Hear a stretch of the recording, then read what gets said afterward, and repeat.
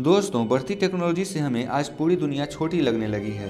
पर आज भी कहीं ऐसी जगह है जो रहस्य और रोमांच के साथ साथ पूरी दुनिया से अलग थलग पड़ी है। और इन्हीं जगहों में से एक है चिलो देश का ईस्टर आइलैंड और आज की वीडियो में हम आपको इसी आइलैंड के रहस्य के बारे में बताने जा रहे हैं। तो दोस्तों, बने रहिए वीडियो के अंत तक। और हाँ दोस्तों, अगर आप मेरे चैनल पर नए हैं तो इस चैनल को सब्सक्राइब कर दें और साथ ही बेल आइकन को भी प्रेस कर दें, जिससे कि इस तरह के वीडियोस की नोटिफिकेशन आप तक सबसे पहले पहुँच जाए। दोस्तों, यह आइलैंड दक्षिण पैसिफिक सागर में स्थित है। यह आइलैंड 15 मील लंबा और 10 मील चौड़ा है। यह दक्षिण पूर्व प्रशांत महासागर में पोलिनेशियाई त्रिकोण के सबसे दक्षिण पूर्व बिंदु पर स्थित एक पोलिनेशियाई द्वीप है। चिली के इस विशेष क्षेत्र का 1888 में चिली में विलय किया गया था। 1722 में जब इस आइलैंड की खोज हुई, तब यहाँ कुछ ऐसा मिला जिसने लोगों को हैरान करके रख दिया। दरअसल इसकी वजह यहाँ पर मौजूद मूर्तियाँ थीं, जिसका केवल सर बना हुआ था।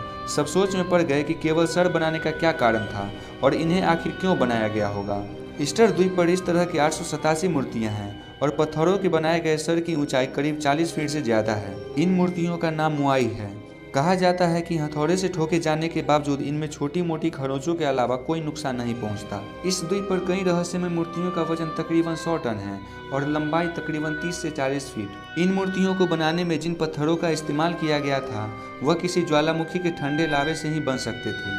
तो आखिर ऐसे पत्थरों को यहाँ लाया कैसे गया होगा? और ऐसी वीरान जगहों पर इन मूर्तियों को आखिर क्यों बनाया गया होगा? वैज्ञानिकों ने जब इस जगह पर खुदाई की तो वो और भी अचंभित हो गए, क्योंकि इसके खुदाई पर मूर्तियों के सर के नीचे इसके शरीर भी पाए गए, जो काफ़ी आश्चर्य की बात है कि आखिर इसके शरीर को मिट्टी के अंदर दबाकर क्यों रखा गया होगा।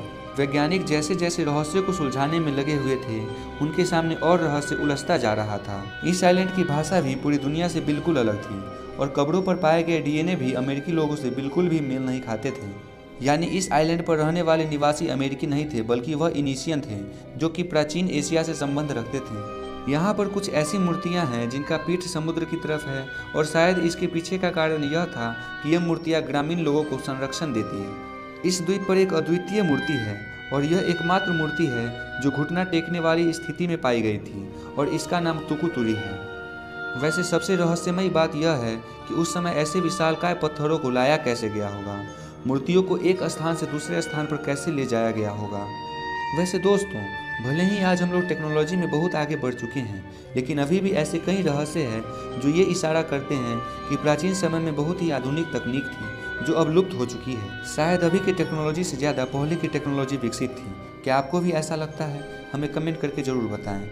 और अगर आपको ये जानकारी अच्छी लगी हो तो वीडियो को लाइक करें, अपने दोस्तों के साथ शेयर करें। आपका कीमती वक्त देने के लिए धन्यवाद।